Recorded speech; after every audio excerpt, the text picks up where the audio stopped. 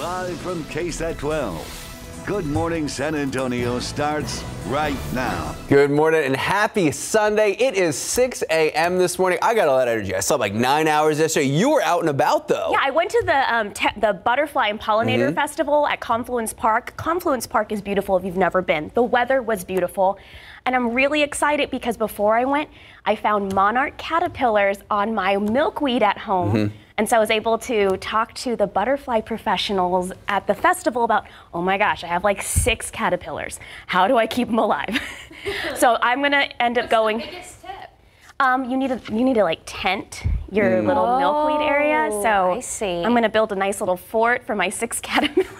That's awesome. You know, I'm going down the rabbit hole, but anything I could do. That's amazing. and you know, it is chilly out there this morning, so that the tent would help, I guess, yeah. keep them a little yeah. bit warm. yeah, we are actually seeing temperatures in the 40s this morning, y'all. Temperatures are in the low 40s up in the hill country, 42 in Kerrville, 49 in Hondo, 49 in Gonzales, and 54 in Pleasanton. This is actually the coolest we've been since April. So a nice welcome change here. One thing you'll notice is a little bit more cloud cover than yesterday today because we're getting some uh, Pacific moisture in the form of cirrus clouds moving across uh, San Antonio and south central Texas. So today's forecast calls for once again another fall-like forecast. 67 at noon, 73 for the afternoon high. Not as breezy as yesterday. We'll only have northeast winds at 5 miles per hour. The sun will set at 7.01. So how long will these crisp and cool mornings last? I've got that forecast update for you coming soon. Max and Sarah. Thank you, Sarah. New this morning, one man dead after a crash on 410 on Roosevelt. That's on the city's south side. Jonathan Cotto joins us live. Jonathan, what do we know about this incident? Well, we do know this happened close to midnight. Uh, the crash causing the eastbound lanes of 410 to close for hours, but this is what the scene looked like. Police say a man in a vehicle rear-ended an 18-wheeler at the entrance of 410 in Roosevelt. The vehicle quickly bursting into flames, trapping the man inside. Because of that, firefighters were not able to rescue him. Of course, this crash causing eastbound lane closures for several hours. Police tell us the driver of that 18-wheeler was not injured. Now, Max, Sarah, at this time, police don't are unsure if alcohol was a factor, but of course the investigation is ongoing. Reporting Jonathan Cotto, KSAT 12 News. Thank you, Jonathan. Police are trying to figure out what happened that led to a woman being stabbed at a bus stop early this morning, but they're getting conflicting stories. So this happened around 2:30 in the morning near the corner of Vera Cruz and South Brazos Street, just west of downtown. Officers received a call from a woman who said she had been stabbed. When they arrived at the scene, they found the woman bleeding heavily from her arm. She was taken to University Hospital and is expected to be okay. Officers were getting different stories from the woman, so they are still trying to sort out the details. A family shattered after their loved one was shot and killed allegedly by her boyfriend. All of this happening just this past week. 31 year old Sarah Silva had just started working as a teacher for La Petite Academy. San Antonio police tell us Silva and 30 year old Evan Held they were arguing when Silva locked herself in a bedroom with her 71 year old mother. This all happening at their home on El Monte Boulevard on Wednesday. Police say Held, the boyfriend, fired several rounds into the door, hitting Silva's mother, killing Silva. Now, Silva's family said they had no idea she may have been in an abusive relationship with Held, and now they hope this tragedy serves as a reminder to other victims of abuse. Love's blind sometimes, and you you won't want to reach out for help. Which, if there's any women out there that are being abused, they should walk out the relationship. Don't wait, you know, walk away from that because y'all don't need that in y'all's lives. As for the investigation, Held turned himself into Dallas police after he was wanted for murder and aggravated assault with a deadly weapon. Right now, he is currently waiting extradition back to Bexar County. Well, the latest now on the deadly shooting in Houston yesterday involving three Harris County deputies. Authorities say the weapon used in the ambush at a nightclub in North Houston was an AR 15 style rifle. The deputies were working security jobs at the club when two of them responded to a report of a robbery outside just after 2 a.m. While the deputies were trying to arrest someone, a man with an AR 15 style rifle shot them from behind. A third deputy was also shot when he came up to help. Deputy Kareem Atkins was one of the first deputies shot and ended up dying from that injury. The other two deputies are recovering from their injuries. So far, authorities are still searching for the man responsible for this shooting. Now to the latest on the battle against COVID. More vaccine requirements being made in big cities around the country, even as COVID cases continue to fall. ABC's Christine Sloan shows us the battles in different areas and how some residents are feeling about it.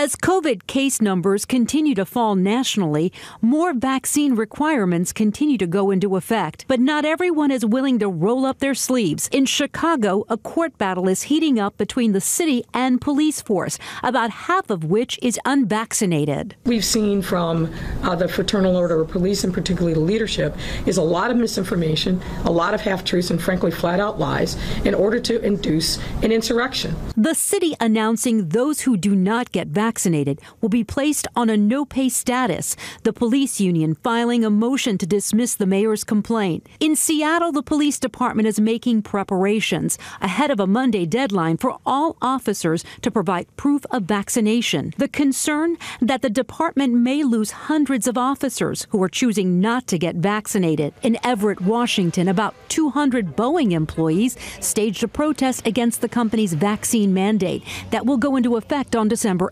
8th. Meantime, mask rules are now loosened in San Francisco.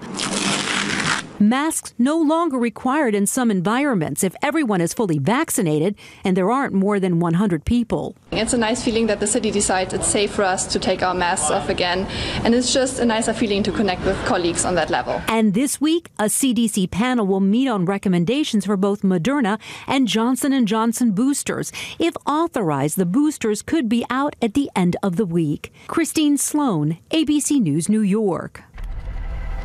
In your morning headlines, a group of 17 U.S. missionaries, including children, have been kidnapped by a gang in Haiti. That's according to a voice message sent to various religious missions by an organization with direct knowledge of the incident. The message said the missionaries were on their way home from building an orphanage. It went on to say this is a special prayer alert, saying they hope the gang members would show remorse. The mission's field director is working with the U.S. Embassy. Well, former President Bill Clinton hoping to be released from the hospital later today. A spokesman for the Clintons said that the former president making excellent progress. Now, he is expected to continue to receive antibiotics before being released. On Friday, President Biden said he had spoken with Clinton and that Clinton is not in any serious condition. Clinton, the 75 year old former president, admitted to the hospital back on Tuesday for what was believed to have been a urological infection and actually spread to his bloodstream. Time now, 607, 50 degrees out. How about those Roadrunners, Max? How about them? 7 and 0, big homecoming win, undefeated. We're going to have highlights of the big win still ahead. So, a man put a lot of hard work in growing this massive pumpkin in the country, but just for it to be disqualified uh, for the competition. Yeah, we'll tell you what happened. That's coming up. And back here at home, ooh, chilly, feeling like fall. Did you do your fall dance today? I'm doing it right now. All right, we're going to be back. We're going to check in with Sarah's Spivey.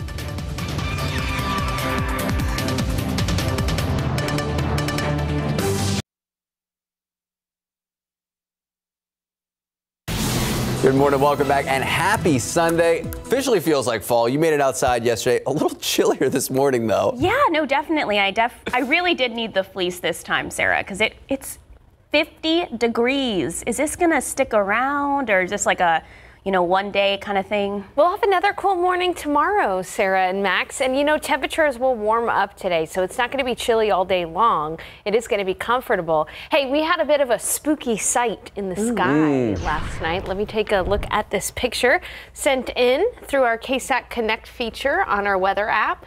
This is a moon halo. Isn't that cool? It's uh, cirrus clouds oh, are made of ice crystals, and the way that uh, the light refracts around the ice crystals creates this perfect circle around the moon. Isn't that really awesome? Yeah, and we're going to have a lot of these cirrus clouds today for us. They're going to be around all day long, so we'll have a wispy hue to the sky, and uh, temperatures will warm up. So we're currently at 49 degrees, but by this afternoon, we'll be topping off in the low to mid 70s. Right around 77 in Pleasanton, 75 in Hondo, 73 in Kerrville, 73 in New Braunfels, 71 in Rock Springs, and 79 in Del Rio. Outside right now, now a beautiful, cool start to this Sunday morning. It's 49 degrees. It feels like 49. We're not really having much of a wind chill out there. And the reason for that is The winds are not all that strong. They've calmed down quite a bit. Now it's 46 in Helotes, 41 at Boerne Stage Airfield, 43 in Bandera, 48 in Rio Medina, 42 in Comfort, and 50 in New Braunfels. A wider view here, 54 this morning as you're stepping out of the door in Pleasanton, 57 in Del Rio, and 54 in Carrizo Springs. So we are a couple of degrees cooler than how we started off the day yesterday. We had calm wind conditions, clear enough skies to allow for a lot of that heat from the day to escape back out into space. And we will see that sunrise here shortly, and as it does so, temperatures will rise with it. 62 at 10, 67 around noon. We're going to have those cirrus clouds all day long. Winds from the northeast at 5 miles per hour. A very pleasant afternoon, topping off only right near 73 degrees. And the sun will set at 7.01. It'll become chilly pretty quickly. We'll be in the 50s and 60s by 10 p.m. Now on the radar and satellite, here's the look at where our cold front is from uh, Friday, moving on off into the Atlantic Ocean. It is quiet across the U.S. The reason for that is a big high pressure system creating sinking air and preventing any kind of precipitation from developing. Uh, this high pressure system, though, air moves in a clockwise fashion around a high pressure system. Around it right now, it's very dry with dew points in the 20s, 30s, and 40s. That's really pleasant and low humidity. But as that high pressure system moves to the east, it's going to pick up that Gulf of Mexico moisture and move it back into south central Texas by Tuesday. So we've got today and tomorrow with the low humidity. And by Tuesday, you'll notice a bit more mugginess in the air. It's not going to be oppressively humid, but it is going to be noticeable, especially in the form of morning clouds on Tuesday. And then a front is expected to move through North Texas by Thursday. And there are some questions about whether or not this front is actually going to make it to San Antonio or if it's just going to be too weak to make it all the way to San Antonio. What we do suspect is we do suspect that there will be some areas of rain Thursday, even through Saturday, isolated showers and storms. So we're not expecting a big rainmaker in any way, but still, uh, we are going to have a chance for that isolated showers and storms Thursday through Saturday. So enjoy the last two days with low humidity, and we'll start off tomorrow chilly as well, 51 for the morning low. Love it, love it, love it. There you go. Thank you, Sarah Spivey. 615, 50 degrees out. So the heaviest pumpkin in the country, guess what? It's not going in any record books. The reason why is next. Challenge accepted. You know, you have a garden. You could grow a pumpkin like that. I don't think I can. Not with this heat. Be deflated. Time now is 6:15, 50 degrees out. Pick three. Big lotto numbers today 990, Fireball 5, Daily 4, 9, 4, 6, 8, Fireball 1. Cash 5, 4, 15, 21, 24, 32. Texas Lotto 26, 27, 32, 36, 37, 42. And Powerball. Did you play? I didn't. It's not uh-huh. high enough. You're the worst. 30, 31, 41, 42, 48. Powerball 3, Power Play 3.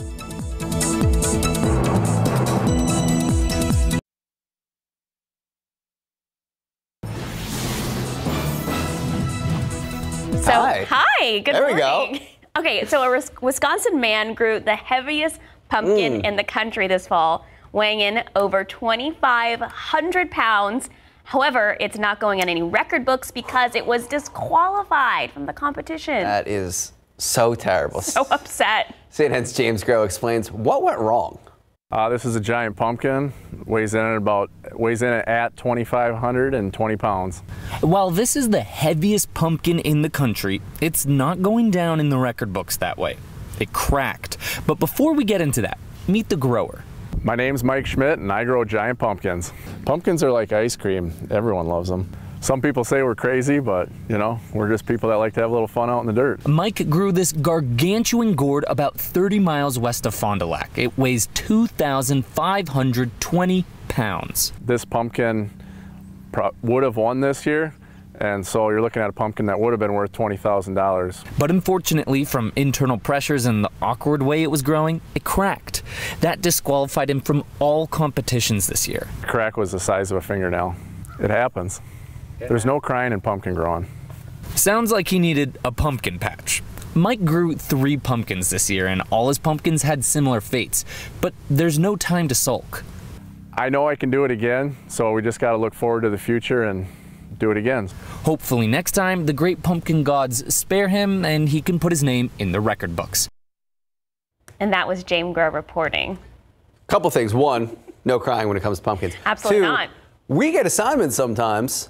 Imagine getting the assignment of the pumpkin fiasco. Best assignment ever. So the Safeway World Championship Pumpkin Weigh Off in California pays $9 a pound to the winning gourd grower. So you heard Mike. If he would have won, he would have won at least $20,000, if not for that fingernail size. Oh my crack. gosh. So he like so positive about it. Too. so optimistic. There's no crying in pumpkin growing. There's crying when you lose $20,000. I would be crying and very upset. I'm now 621, 50 degrees out. Hey, let's take a look at some birthdays. This is Anthony. Happy birthday, Anthony. He's four years old. And next up, we have Autumn, 25. Happy birthday, Autumn. Remember to keep posting your birthday pictures. ksat.com slash birthdays. Include a name and an age. We show them every Friday, Saturday, and Sunday right here on Good Morning San Antonio. Morning, welcome back. Birds up, boys and girls. Homecoming, and what a showing. For the first time in UTSA program history, the Roadrunners are 7 and 0. They earned that win in a stylish shutout fashion, 45 to 0. We know the star's name, Sincere McCormick, 13 carries, 117 yards. Of course, an 81 yard non scoring run. UTSA totaling 261 yards. Frank Harris, QB, 12 of 19, 125, two touchdowns. Joshua Cephus, four catches, 63 yards.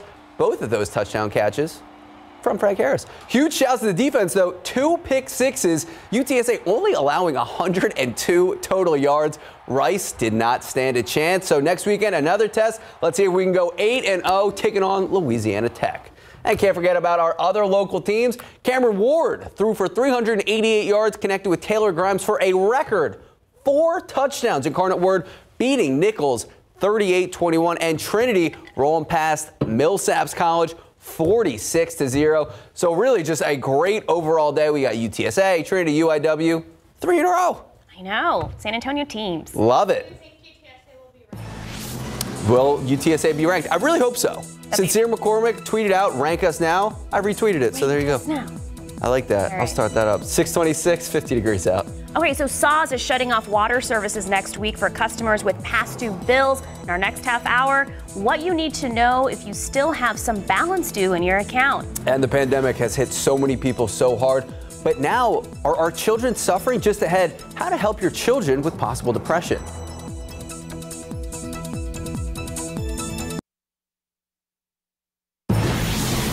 Morning, welcome back, and happy Sunday. 6:30 this morning, October 17th. It feels like October. I can't get over this. I'm so we hit excited. the 40s this morning. I know, it's insane. I was like, oh, I actually need to like bring like not just like my little coat, my my big coat. I know it's a little dramatic, but Mm-hmm. Big coat. That's what I need, a big coat. We need a graphic, Sarah Spivey. Big coat weather. big coat weather for a South Texas girl. I'll get right on. Sounds like a good I'll novel. right I was going to say, great book. Yeah, uh, but you know, you won't need it for long because it's going to get comfortable this afternoon, not necessarily chilly. I love this picture that uh, this viewer sent in, Skywatcher sent in through our KSAT Weather Authority app. How does my neighbor come up with ideas for skeleton displays? Skeleton planning meetings, of course.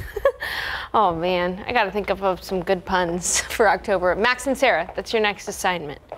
Okay, 49 degrees outside. This is the coolest we have been since April of this year, so almost six months here. Uh, nice to see temperatures dipping down into that chilly range for us, especially for those wanting it to feel a little bit more like fall. It's 42 in Kerrville, and by the way, temperatures may drop another degree or two before we see the sunrise here.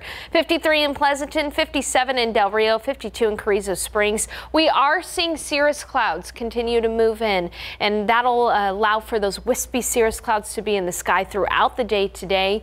So uh, that's going to keep us from getting too too warm. In fact, we'll be looking at a high temperature in the low 70s. Another great day to head out to the pumpkin patch. We're running out of pumpkin patch days, but today is going to be a good one. We'll spend most of the morning in the 60s and in the afternoon we'll be in the 70s, low 70s for the high temperature. How long will this nice fall weather last? I'll tell you coming up in just a few minutes. Max and Sarah. Thank you, Sarah. New this morning, a man behind bars after San Antonio police say he was involved in a shooting last Sunday. So according to the arrest affidavit, 27-year-old Donald Montalvo and 22-year-old Miguel Maldonado allegedly tried to shoot someone for what is written down as being a snitch. Now, Maldonado's mugshot not available. Police say the two men went to an apartment complex where they knew the victim would be. They chased him when they saw him in the vehicle, allegedly shooting in the victim's direction at the same time. Now, police say Montalvo and Maldonado eventually crashed and ran from the scene. Both were arrested, now facing charges of aggravated assault with a deadly weapon. Also new this morning, one man dead after a major crash on I-10 and Roosevelt, causing some lane closures, and all this happening on the city's south side. Jonathan Cotto joins us live. Jonathan, do police know what caused this crash? Well, that's a good question, Sarah. Right now, police are investigating and haven't exactly determined if alcohol was even a factor. We, knew, we do know that man was pronounced dead at the scene, but take a look at this, what that scene looked like just a couple of hours ago. This all happening um, on Roosevelt and 410.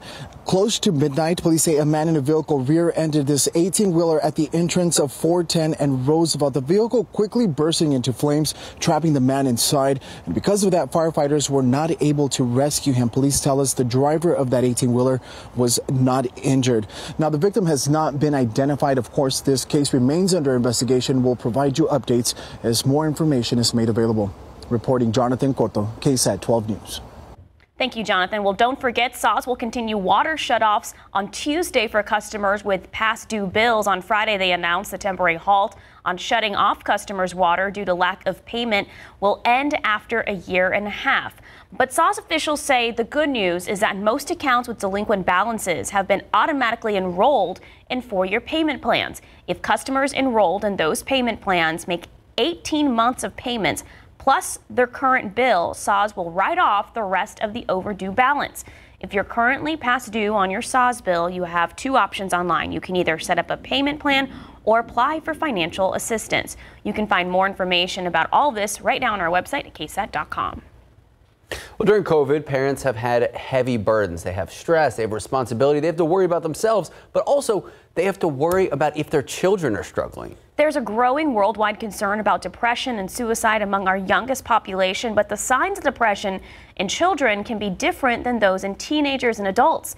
David Sears explains to make sure your child isn't struggling with depression alone. Depression can arise as early as age three. Pandemic isolation, struggling with virtual schooling, and family related stress all contributed to a rise in mental health concerns for children.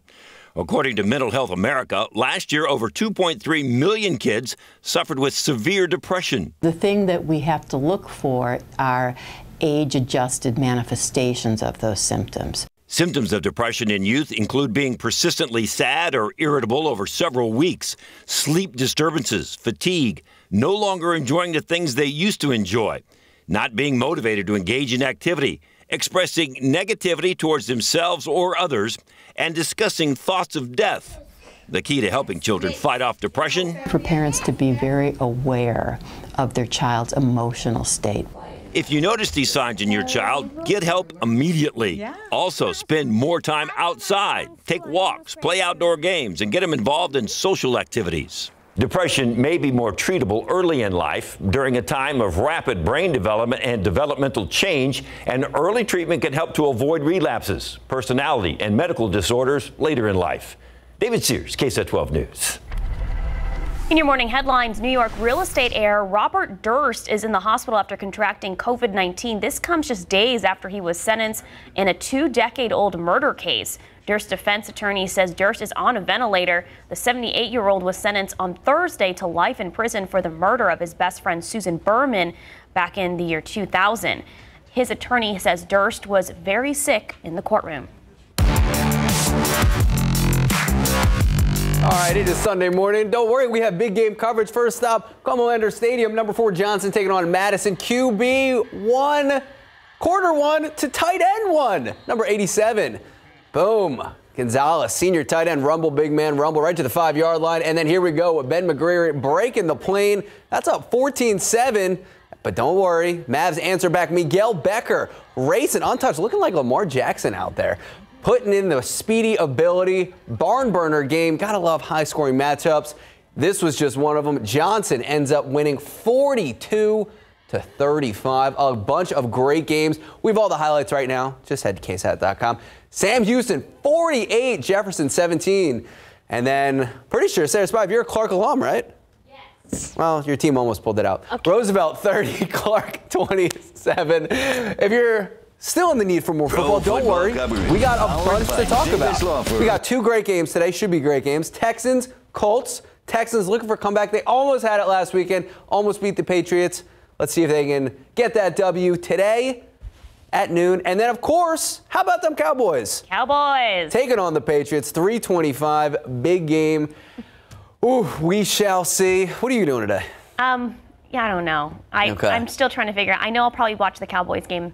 You know, have to. I have to. I'll probably clean the house with the Cowboys game on. There you go. Open the doors. Yeah. You get the fresh air. That's yeah. what I did yesterday. I opened the patio door. As much game. as Max walks outside, that's what happens. Yeah, sure. Opens the windows. Time now, 637, 50 degrees out. All right, so we're talking all things fall, mm-hmm. but what you about do your fall feeling dance? Fall, but what about Halloween? Ooh. So, what is your favorite candy and what is the least favorite? So, think about it. So, next on GMSA, the result of the annual Halloween candy survey. Oh, I didn't know we had one of these. Plus, scientists finding evidence of water in the atmosphere of Jupiter's icy moon. We have the details of the discovery next. Give us a preview. What's your least favorite candy?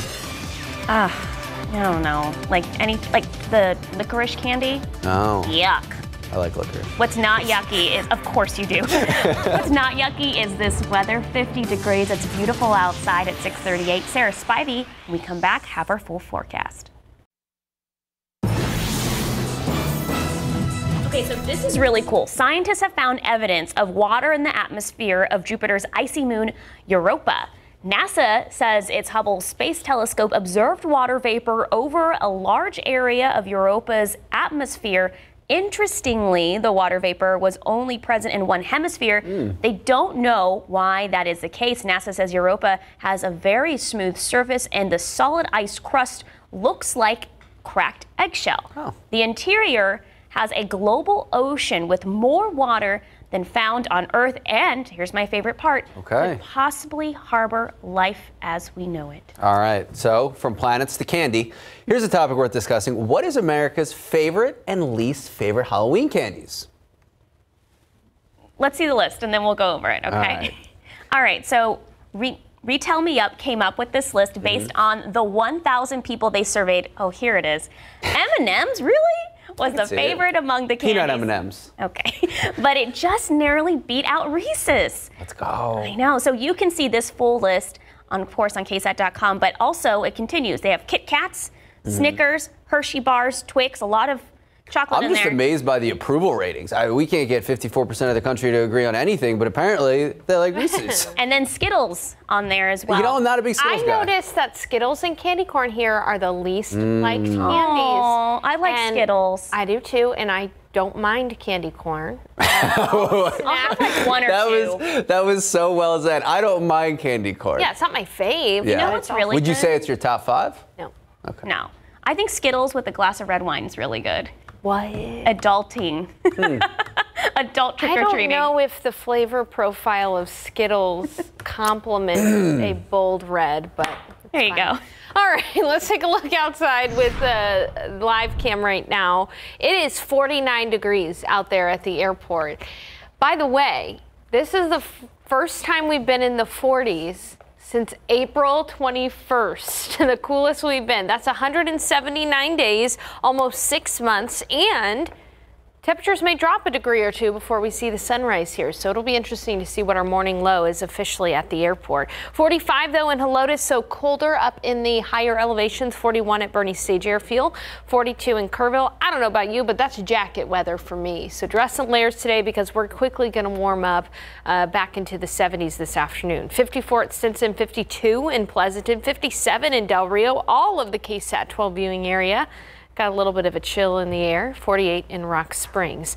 So we will see cirrus clouds today, those wispy clouds high up in the atmosphere. They are wispy because they're made out of ice crystals. So uh, that's going to allow for a beautiful sky, really nice sunsets and sunrises. Uh, we'll be looking at temperatures rising slowly into the low 70s by this afternoon 67 at noon and 73 for the afternoon high. Not as breezy as yesterday. We'll only have winds from the north at about 5 miles per hour, and then we'll get cool tonight with temperatures back into the 50s by about 10 p.m. On the radar and satellite, notice how quiet it is across the United States. Now, the reason for that is there's a pretty potent high pressure system creating sinking air, preventing any kind of showers and storms from developing.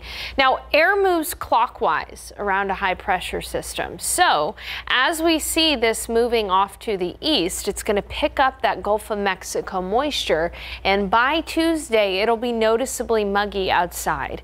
Now, we've been enjoying dew points in the 30s and 40s, but by Tuesday, those dew points will climb back into the 60s. So we've got a couple of days here with a low humidity today and tomorrow, and then you'll notice it a bit more on Tuesday, especially in the form of morning clouds, and our morning lows are going to go up as well. So tomorrow morning, another morning where it'll be chilly. You'll want to dress in layers, but by Tuesday morning, 60s for the morning lows uh, as we see that humidity rise again. Now, as far as rain chances go, it's not looking great for rain this week, but there is a chance Thursday and Friday for some isolated showers and storms. And we've seen plenty of rainfall. After Wednesday night, Thursday morning's rain, it might be a good idea to continue to allow those uh, rivers and creeks to drain back out into the Gulf of Mexico. So just to summarize everything I said, a little bit more cloud cover today in the form of cirrus clouds, 73 for the high. Tomorrow, waking up chilly again, 77 for the high. So today is going to be the coolest day of the next seven days But even then, by the middle of the week, our highs will be in the low to mid 80s, so not all that bad. And then isolated showers and storms in the forecast Thursday, Friday, and even Saturday. No potent cold fronts over the next seven days. Of course, as we head into November, that will likely change. Uh, I, I like this change of weather. What about you guys, Max and Sarah? Only when it's a potent cold front. I like it. Thank you. 647. I can tell y'all are making fun of me. No, I thought 50, it was really cute. 50 degrees out. All right, 4.3 million people. That's how many people quit their jobs in August, according to the Labor Department. This is part of what's being called the Great Resignation. The latest numbers from the Bureau of Labor Statistics shows that the unemployment rate across the country is 4.8%. So, what do the numbers look like locally, and what are the latest trends here in San Antonio? Later this morning at 8 a.m. on Leading SA, CEO of Workforce Solutions Alamo, Adrian Lopez, joining us live to discuss what we are seeing, what sectors and job markets are being most affected, and where do we go from here? If you have any questions you would like to ask, you can submit them right now. Just head to the leading SA section of ksat.com. Time now, just about 647, 50 degrees out. Okay, well, UT, they lost, Max. Oh, what a game it was. Had the windows open, got the sunshine, got the cool air, got a loss. We're going to explain next. Take a look at these lotto numbers. Pick 3, 990, Fireball 5, Daily 4, 9468 Fireball 1. And your cash 5, 4, 15, 21, 24, 32. Lotto Texas 26, 27, 32, 36, 37, 42. And here we go. Powerball 30, 31, 41, 42, 48. Powerball 3, Power Play 3. Good luck. We'll be right back.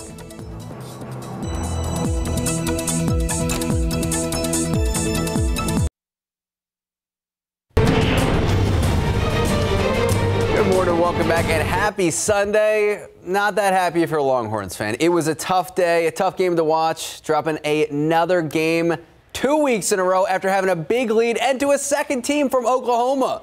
Longhorns leading to start the third 17-13. But the Horns offense, the run game specifically, Bijan Robinson could not get going. It turned cold. The Cowboys, Oklahoma State Cowboys, this guy, he couldn't do anything in the fourth quarter. Offense just looked stagnant. Oklahoma State would come back, top Texas 32 24. Not great. But we got more tests throughout the season. But we got other Big 12, current Big 12 teams to tell you about. Baylor winning big, taking on ranked BYU 38 24. And then we know we got a lot of Texas Tech fans out here, so huge shouts. You want to guns up? Nothing? 41. There you go. Gotta love it.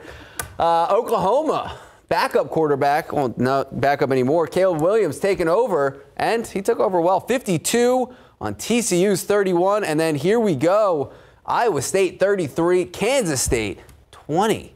But this is really the game we want to talk about. We've been talking about throughout the morning a shellacking from Texas A&M. They're staying hot after that win over number one ranked Alabama, taking on Missouri. And let's just let's just be honest, Missouri was not even in the game. People not talking enough about Texas A&M's run game because Isaiah Spiller, De'Von Achane, they got to be a top three tandem in all of college football. They combined for almost 300 yards rushing, three touchdowns. Look at that just walking into the end zone. Missouri didn't stand a chance. Aggies win here 35 14. Sarah Spivey came over to the desk. She has since left the area. Speaking of leaving the area, a few fly balls leaving the stadium. If you're an Astros fan, we had great news for you yesterday. Today, different sort of news. Red Sox came out slugging in game two of the ALCS. I watched the first Grand Slam live. JD Martinez, huge shouts. I say the first Grand Slam because the Red Sox had two Grand Slams in the game. The Red Sox, actually the first MLB team with two Grand Slams in the same playoff game. They win 9 5 series, now tied up 1 to 1. Pretty upset about the Astros. Yeah. Loss. It's all right. It's a long series. I know, but they played at home. Yeah, they get a couple more games. 654, 50 degrees out. We'll be right back.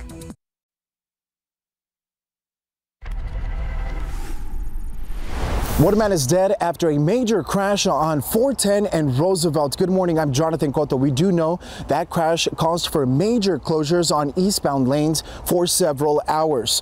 The crash happening close to midnight, causing the eastbound lanes to be closed. Police say a man in a vehicle rear-ended this 18-wheeler at the entrance of 410 and Roosevelt. The vehicle quickly bursting into flames, trapping the man inside, and because of that, firefighters were not able to rescue him. Police tell us the driver of that 18 18-wheeler was not injured. The victim has not yet been identified. Of course, this case remains under investigation. We'll provide you updates as more information is made available. Reporting Jonathan Cotto, KSAT 12 News. Good morning. Coming up here on GMA Breaking Overnight, American missionaries kidnapped in Haiti, children among the captured. We're bringing you the latest from the Haitian consulate. Plus, the nation's second largest police department preparing to lose officers over COVID-19 vaccine mandates with requirements going into effect this weekend. The vaccine battle across the country as the CDC releases new data on the shot's effectiveness. And the supply chain disruptions causing shortages ahead of Halloween as Americans flock to buy costumes, the unique challenges stores are facing this year. It's all ahead here on GMA beautiful sunrise out oh, there wow. right now. Yeah, absolutely gorgeous. One of the reasons why we're seeing such pretty colors is because of those cirrus clouds made of ice crystals. They sit up higher in the atmosphere and they make for very pretty cotton candy sunrises out there. 48 degrees, so we dropped a degree. This is going to be uh, our coldest morning on record since April 21st. So very, very nice chilly morning out there right now. It's even colder up in the hill country. 41 at Boerne Stage Airfield, 42 in Comfort and 42 in Kerrville. Elsewhere, we're generally seeing temperatures right near about 50 degrees or in the upper 40s. Today, we're going to quickly warm up. We'll already be at 62 by 10. So dress in layers today, 67 by noon. Only a high temperature of 73 though, so it's going to stay comfortable all day long. Northeast winds at 5 miles per hour. And then another chilly start tomorrow morning with a pleasant afternoon. Humidity will return on Tuesday. You can see that, how the morning lows get a little warmer. And then highs will be in the mid 80s for most of this week. A small chance for rain Thursday and Friday of this week. Are you going to run up to the roof and take your sunrise? No, because I try to do one. I don't want to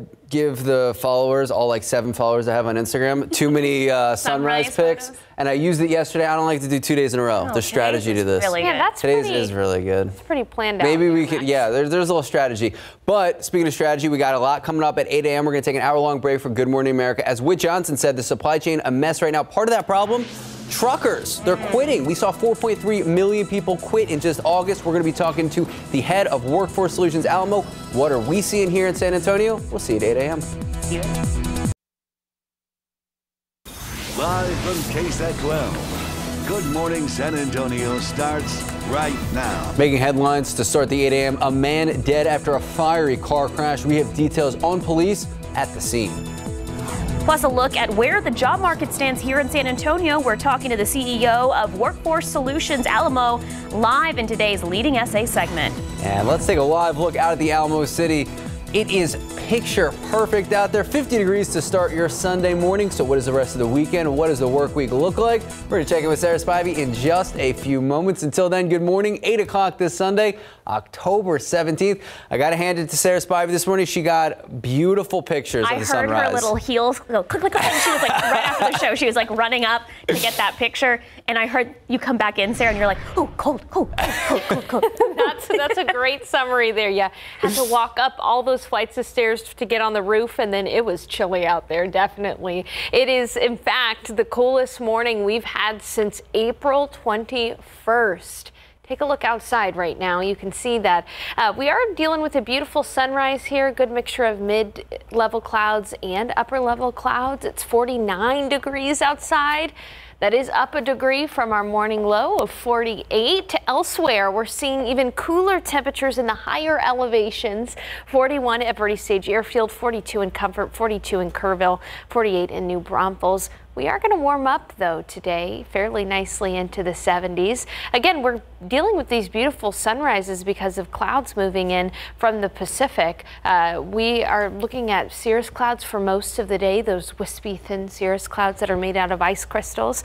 We'll be at 67 by noon, 73 for the afternoon high, so a very pleasant fall like forecast for your day today. Northeast winds at 5 miles per hour. How long will this nice weather last? I've got the answer for you in the forecast coming up in a bit. Max and Sarah. Thank you, Sarah. New this morning, a man dead after a crash. Here's what we know so far. Police tell us close to midnight, a man in a vehicle rear-ended an 18-wheeler at entrance of 410 and Roosevelt. Now that vehicle bursting into flames, trapping the man inside. Because of that, firefighters not able to rescue him. The driver of the 18-wheeler not injured. Right now, police still investigating, but they can't tell us if alcohol played a factor at this time.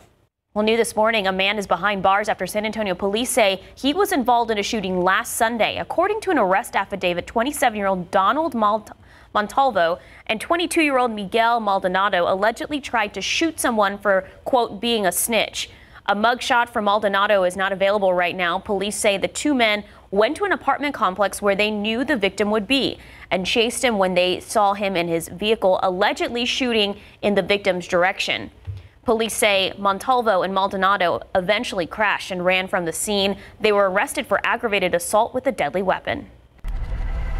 In your top stories, the moratorium of shutting off customers' waters due to lack of payment, that is ending after a year and a half. That means if you don't pay your water bill, you might not have water. San Antonio Water System SAWS resuming those water shutoffs starting Tuesday. Customers can still make payment plans and can still apply for financial aid if their bill is overdue. If you have any questions about any of the plans going forward, we have all that info right now. Just head to ksat.com.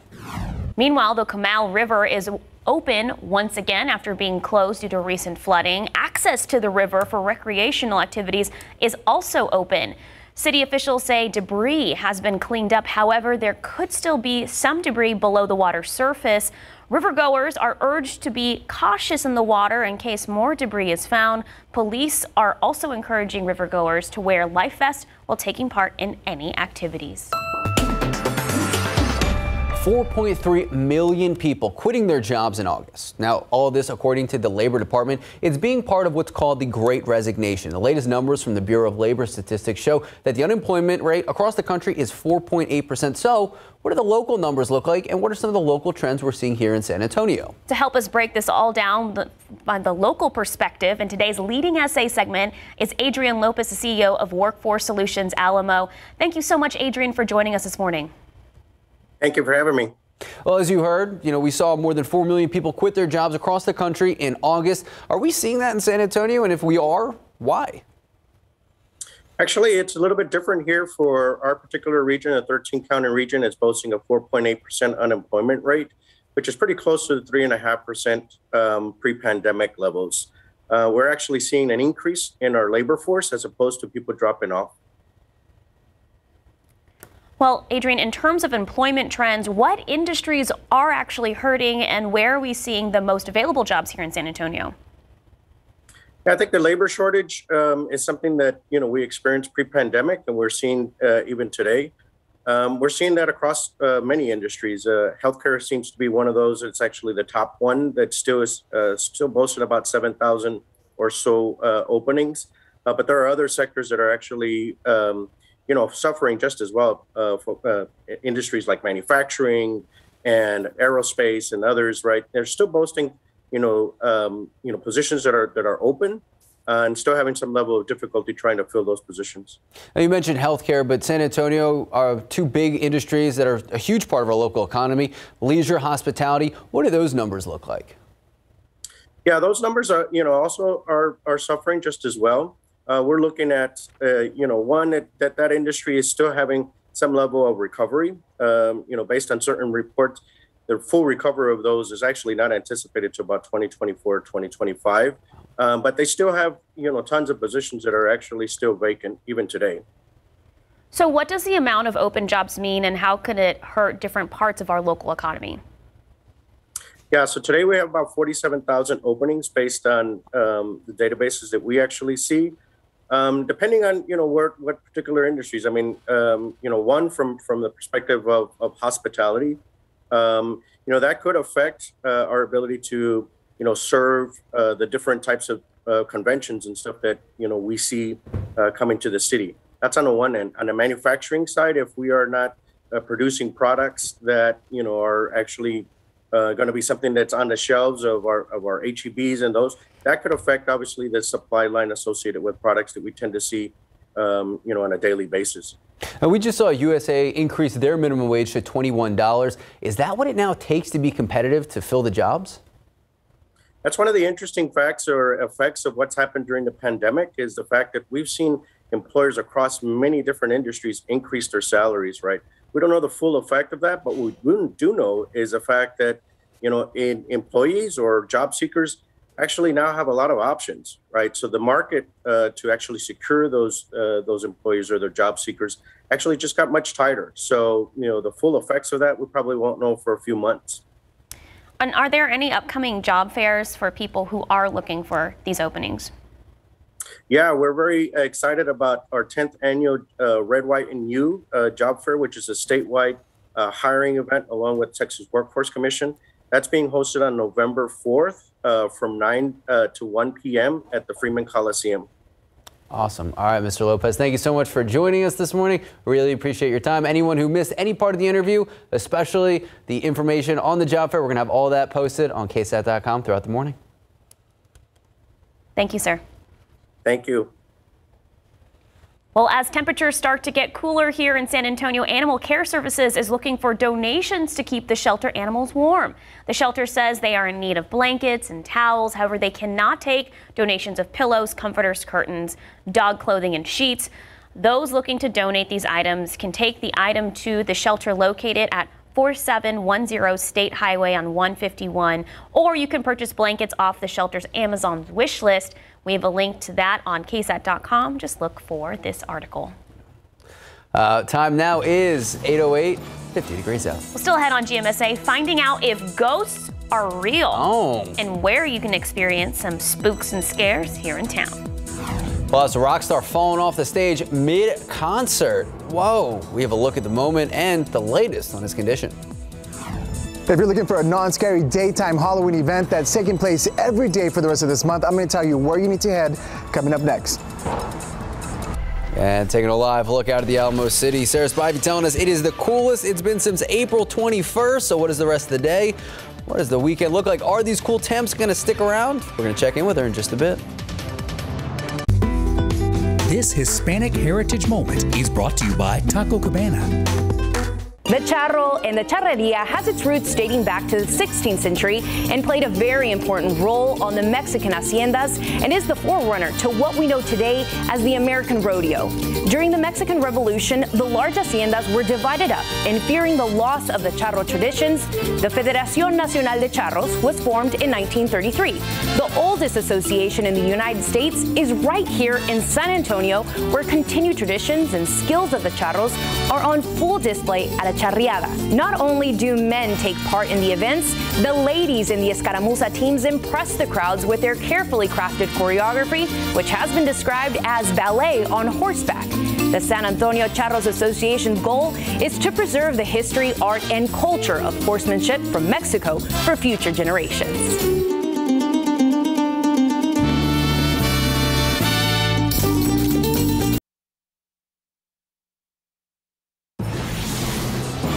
Morning and welcome back. So some call October Spooky season. Spooky season. But not everyone wants to be spooked. So if you're looking for some fun-filled Halloween-themed things to do with your kids, the San Antonio Zoo could be the perfect spot. I love this. Our Jonathan Cotto joins us there live. What Zoo Boo is all about. Good morning, Jonathan. Good morning, Sarah. Good morning, Max. Well, I'm here joined by Hope Roth, Vice President of Marketing for the San Antonio Zoo. And you're right, this is a place where folks can come out who love the idea of Halloween, but don't necessarily want it to be that scary, right? Absolutely. Family friendly fun. It has a fall fest kind of a vibe, but we still have your costume contest every day. We have Cowboys Dance Party, which is a huge hit with the kids. And what everybody cares about the most, every single day, the last hour of the day, free trick or treating. That's that's where you got me. Free trick or treating, folks, and this is taking place every day. Um, what else can folks expect? What what are the times? Where can they get tickets? Absolutely. So as you know, there is a train that runs through Brackenridge Park, and we also have the Scarecrow Sing Along, brand new this year, and we're really excited about that. We also have photo ops everywhere. So if you're wanting that perfect family fall picture and you don't want to have to drive where the leaves might change, come to the zoo and you can get an absolutely fabulous family picture. But we're open every day, 9 a.m. to 5, and on Saturdays we're open until 10, till 10, till 7, sorry, till 7. But yeah, one hour of trick or treating free every single day with multiple places to stop by and get your candy. That sounds absolutely amazing, Hope. Now, we couldn't be at the San Antonio Zoo if we weren't if we weren't going to visit with animals, and I am visiting with some right here. and I believe these are cockroaches. They are. These are Madagascar hissing cockroaches. Jonathan, you are going to be our special AAT uh, little guest here. Isn't he adorable? Adorable. I love them. I told you you were going to get to hang out with something really cute and cuddly today. You know, you said they were cute and cuddly. I was not expecting this. This is really, really cool. Well, so many people just think they're so creepy, but these guys serve the environment so well. They're decomposers, so they really help us with uh, keeping trees and getting rid of all of that decomposing uh, wildlife wow. that's out there and letting new things grow. But don't worry, we do actually have a cute and fuzzy. So John here, come on over here, John. We have Notch. Notch is a Virginia opossum. Now, unfortunately, cockroaches are on her menu, but not these guys. So she's probably eyeballing us going, ooh, this looks pretty tasty. But so Notch, cute. she's still young. She's only about six months old, and she was rescued right here on zoo grounds. You know, this is North America's only marsupial. That means that they have a pouch just like kangaroos.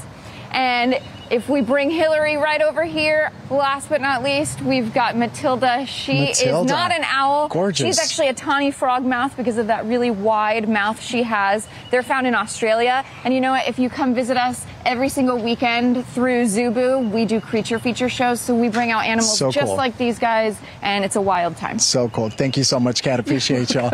Max, Sarah, I'm tossing this back to you. In the meantime, I'm going to hang out with my buddy here, and I'm going to name him Paco. Back to you on the studio. Paco, okay. Uh, Jonathan is very, calm, brave. cool, and collected. Yes, we were all like, yeah, oh my god, go, Jonathan. Yeah. What that was that last one? Would you call it a seal bird? It looked like a seal bird. It was so cute. she was so cute, Matilda, right? Definitely, yeah. it beat out the cockroach. Yeah. Well, hey guys, I got a spooky side of my own. All oh. right, take a look at this picture sent in through our KSAT Connect feature. Kind of looks like a really spooky October night. This is a 22 degree halo around the moon, also called a moon halo. It happens because of ice crystals that make up these high thin cirrus clouds that you see out there today and last night.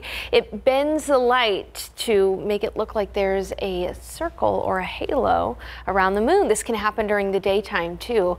Uh, but a really cool picture. Thank you for sending that in. Speaking of those cirrus clouds, we're going to have them with us all day long coming in off of the Pacific. Uh, now, it's not going to keep us completely insulated and cool. Instead, we're going to see some sunshine through those cirrus clouds and we will actually warm up nicely. We're experiencing the coldest morning we've had since April, But this afternoon, we'll be looking at afternoon high temperatures in the low to mid 70s. 73 in Kerrville, 75 in Uvalde, 79 in Del Rio, 77 in Cotulla, 73 here in San Antonio for the high. Outside right now, you can see a mixture of those mid and high level clouds out there. 49 degrees. We got down to 48 earlier this morning. Winds a little bit calmer than yesterday, but still from the west northwest at about 8 to 10 miles per hour. Even chillier up in the higher elevations. 41 in Boerne Stage, 41 in Kerrville, 41 in Bandera, 54 though in Devine, 56 at Stinson, 48 in New Braunfels, 55 in Pleasanton, 54 the wake up temperature in Del Rio. It's even in the 30s up in Junction in the hill country this morning. Now today, as I just mentioned, we're going to keep those cirrus clouds out there, giving the sky mostly cloudy and milky hue. Uh, 67 around noon and then 73 for that afternoon high. Northeast winds at 5 miles per hour. Sun will set at 701. If you have Sunday night plans, bring that jacket with you because it's going to get cool pretty quickly. We'll be back into the 60s and 50s by 10 p.m. Look how quiet it is across the United States. There is a high pressure system in place creating sinking air uh, behind that cold front that moved through on Friday and gave us our first real taste of fall. Now, air moves in a clockwise fashion around a high, and high usually means dry, and so dew points are low. That's why it feels great outside. But as that high moves off to the east, again, remember the wind moves in a clockwise fashion around a high. We're going to pull in that Gulf moisture, and so we've got two more days here with lower humidity before this moisture moves back in on Tuesday. Today and tomorrow, and then Tuesday you'll notice a bit more mugginess. Meanwhile, by Thursday, another cold front is going to approach from the north, moving through North Texas. It's still unclear if this is going to have enough oomph to make it to San Antonio, but what we do know is that it should fire off a few isolated showers and storms, uh, and we could get some of those outflow boundary storms that we see uh, sometimes from North Texas. So looking at the rest of the forecast again, beautiful today, beautiful tomorrow after a chilly start, although not as cold as this morning, and then mid 80s for most of the week uh, and isolated showers and storms by Thursday through Saturday. We'll keep you updated. Hopefully we'll get the pollen count in here shortly and I'll be able to show you that in the next half hour. Max and Sarah. Oomph. Oomph. That's good. That was on cue. We didn't even coordinate that. Look at that. Thank you, Sarah. 821, 51 degrees out. Still ahead on GMSA, learning the history of ofrendas during Day of the Dead and the significance of displaying the salt.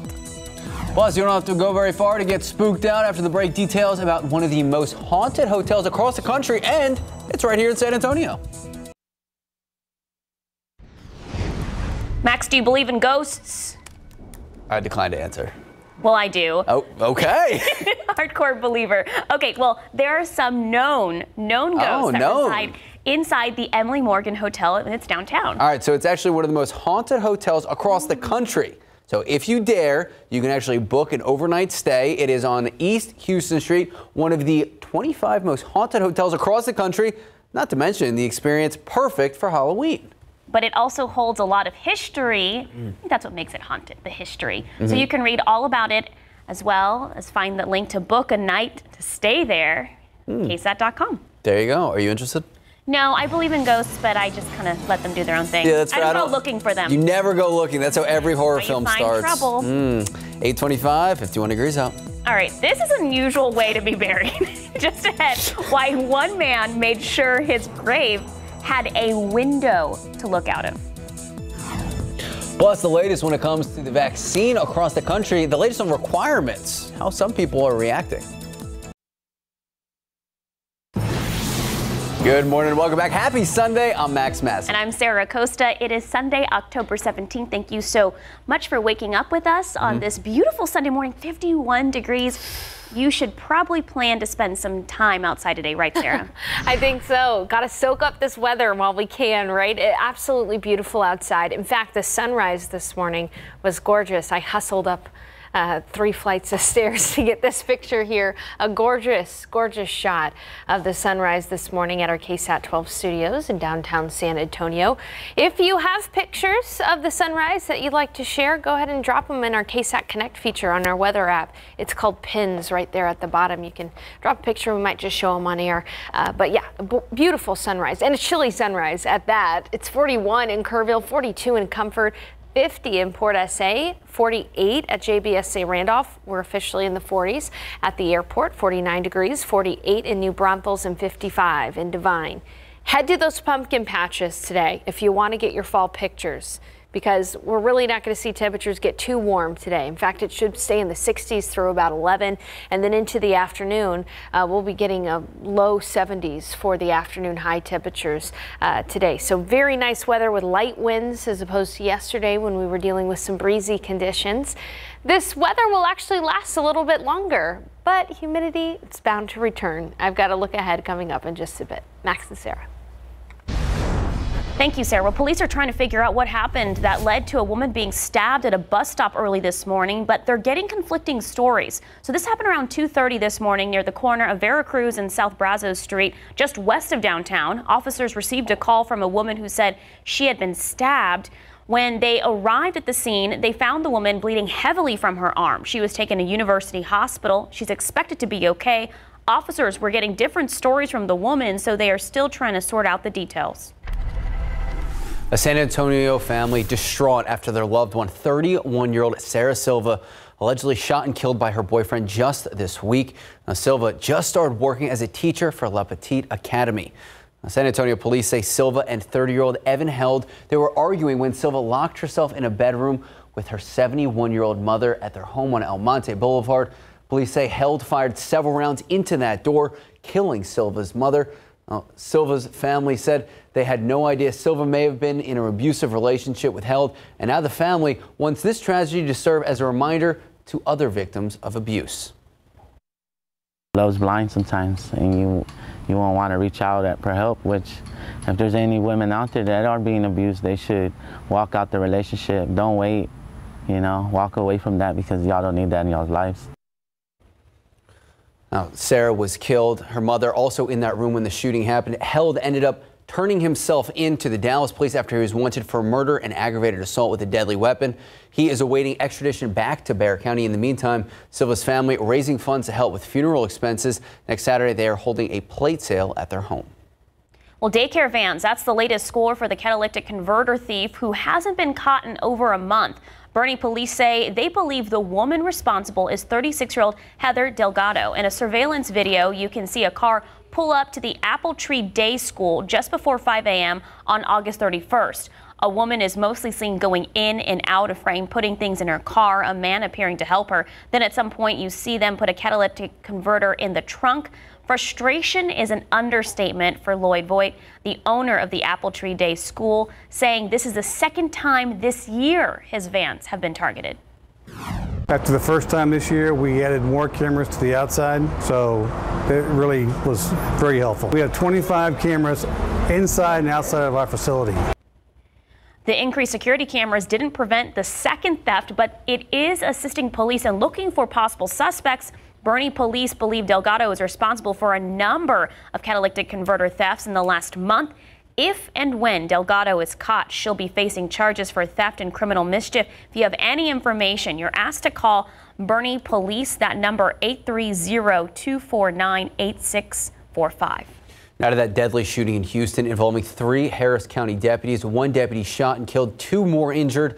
Authorities say the weapon used in yesterday's ambush at a nightclub was an AR-15 style rifle. The deputies were actually working security jobs at the club. Two of them responded to the report of a robbery outside just around 2 a.m. While the deputies were trying to arrest someone, a man with an AR-15 style rifle came from behind. A third deputy also shot when he came to help. Deputy Kareem Atkins was one of the first deputies shot, ended up dying from those injuries at the hospital. The other two deputies recovering from their injuries. So far, authorities still searching for the suspect responsible. In morning headlines, more vaccine requirements being made in big cities around the country, even as COVID cases fall. ABC's Christine Sloan shows us the battles in different areas and how some residents are feeling about it. As COVID case numbers continue to fall nationally, more vaccine requirements continue to go into effect. But not everyone is willing to roll up their sleeves. In Chicago, a court battle is heating up between the city and police force, about half of which is unvaccinated. We've seen from uh, the Fraternal Order of Police, and particularly the leadership, is a lot of misinformation, a lot of half truths, and frankly, flat out lies in order to induce an insurrection. The city announcing those who do not get vaccinated will be placed on a no pay status. The police union filing a motion to dismiss the mayor's complaint. In Seattle, the police department is making preparations ahead of a Monday deadline for all officers to provide proof of vaccination. The concern that the department may lose hundreds of officers who are choosing not to get vaccinated. In Everett, Washington, about 200 Boeing employees staged a protest against the company's vaccine mandate that will go into effect on December 8th. Meantime, mask rules are now loosened in San Francisco. Masks no longer required in some environments if everyone is fully vaccinated and there aren't more than 100 people. It's a nice feeling that the city decides it's safe for us to take our masks off again, and it's just a nicer feeling to connect with colleagues on that level. And this week, a CDC panel will meet on recommendations for both Moderna and Johnson & Johnson boosters. If authorized, the boosters could be out at the end of the week. Christine Sloan, ABC News, New York. Also in your morning headlines, Hertz making a move to go public again this fall after the rental car company emerged from bankruptcy this summer. It continues to profit from record high rental car rates as demand for travel has returned following the pandemic. Most rental car companies were forced to sell off most of their vehicles to raise the cash they needed to survive when air travel was grounded due to the pandemic. Demand remains high because a chip shortage is limiting the number of new cars that can be built, continuing to lower the supply of rental cars. A threatened strike to shut down TV and film production was averted just hours before yesterday's midnight deadline. That's right. The International Alliance of Theatrical Stage Employee Union, they had threatened to walk out over benefits, wages, and safety standards. While the exact details not being released, film and TV production is expected to be able to continue. The deal only applies to the West Coast production as negotiations continue for workers in other parts of the country. Union workers will also need to ratify the agreement before it is official. While Motley Crue frontman Vince Neil recovering from broken ribs after he fell off a stage in Tennessee this week. So Neil was performing a solo show when the accident happened right there. Yeah. So even though he broke his ribs in the fall, Neil wanted to continue go on with the show, but Neil was talked out of it because he was having difficulty breathing. The band played on with guitarist Jeff Blando taking over the lead vocals. All right, this is a story you've been talking about throughout the morning. I this is it. This, This is, is it. so creepy, but I really like it. So, a grave with a view. So, check this out. This very unusual plot in a Vermont cemetery. Hmm, Dr. Timothy Clark's grave has a window so mourners can look down and, you know, check him out. Of course, it has a window. So, Dr. Clark, who died in the 1800s, had an extreme fear of being buried alive. In addition to the window, he was buried with a chisel in case, you Hmm. know, he needed to break out. Of course. And his unusual tomb even has a bell he could ring, you know, just in case. But all this time, Dr. Clark has been able to rest in peace. It seems he was never in any grave danger. Did you have fun with that one? I did. Grave danger. So I don't know if I want to. No, maybe I do. You know what? I want a window. So, Max, so he, remember that. he has a bell. Like he can ring the bell. Only he can ring the bell. Only he has a chisel. Can people outside hear the bell? That's the purpose. Interesting. What happens if you're walking to the graveyard and start hearing the bell? That's the run. rumor. You have to run. The time now it's uh, 8:39, 52 degrees out. Okay. After the break, we're catching. Oh. oh gosh. Yeah, that's Jonathan Cotto. He was holding that giant roach. He was very brave. But he is live at the San Antonio Zoo for this year's Zoo Boo event. He'll tell us more about it. And speaking of outdoors, hopefully you don't see any cockroaches. Beautiful shot out there. 52 degrees to start your morning. What does the rest of the weekend look like? We're gonna check in with Sarah Spivey just a bit.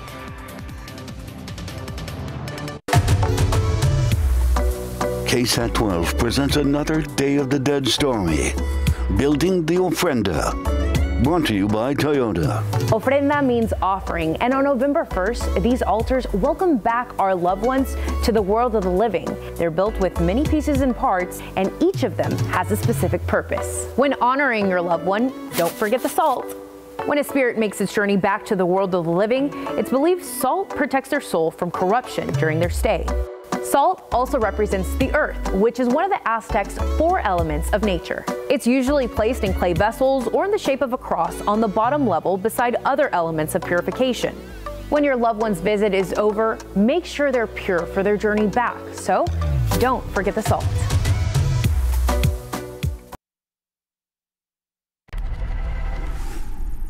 As COVID cases fall, the FDA debates boosters. Dr. Fauci, what you need to know. Plus, supply chain pain. Martha's on the road. The plan to end gridlock. And the infamous spy telling all to George. The special preview Sunday on ABC's This Week.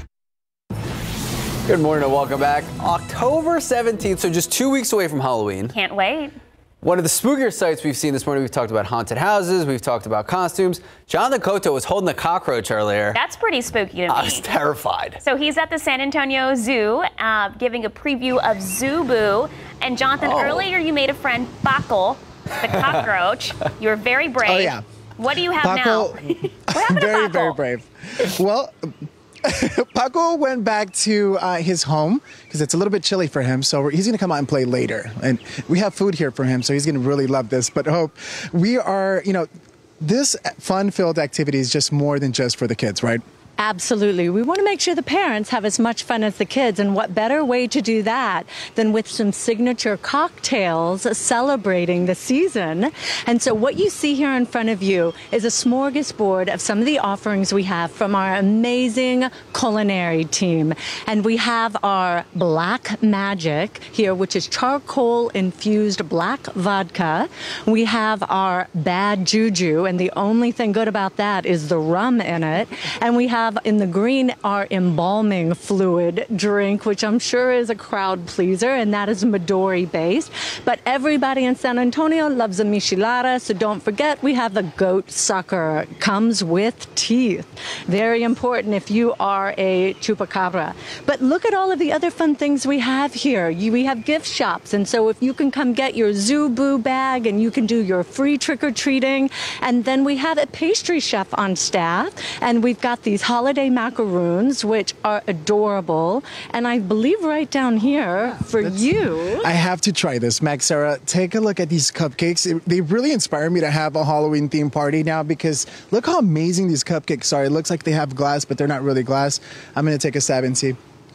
No pun intended. Mm, no pun intended. Mm, mm, mm. Mm. Good. Sharp and delicious.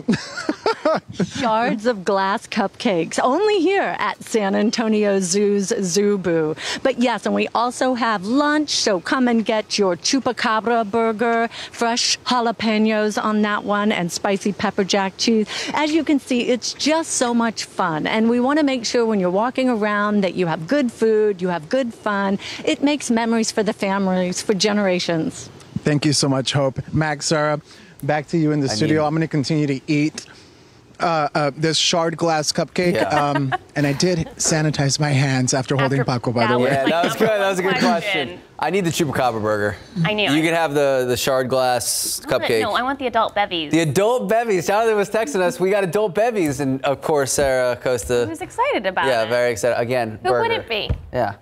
A You know, lot going on at 8:47 a.m. Zoo Boo.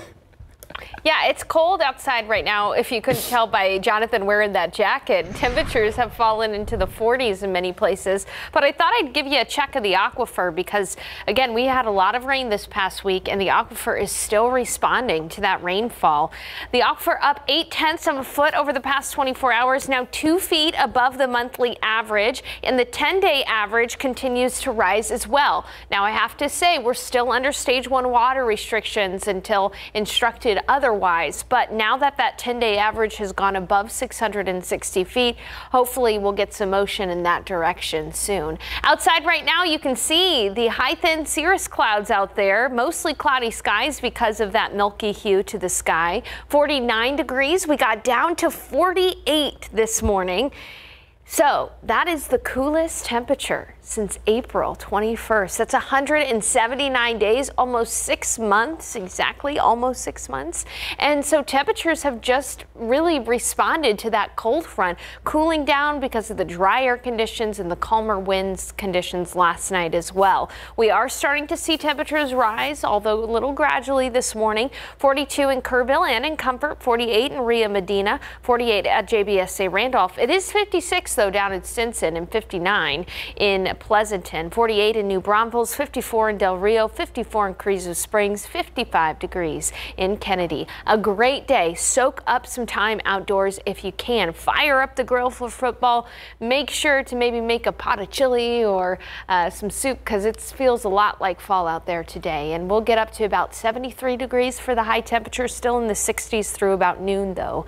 Uh, winds will not be as breezy as they were yesterday. Winds actually only from the northeast at about 5 miles per hour. Sun will set at 7.01 and notice how quickly our temperatures fall. So if you have late night plans outdoors, make sure to plan accordingly for the drop in temperatures. We are seeing those cirrus clouds moving in from the Pacific. A high pressure system at the surface keeping out showers and storms across much of the United States. It is fairly quiet across much of the U.S. And uh, as I've been talking about all morning, the air moves around a high pressure system in a clockwise fashion.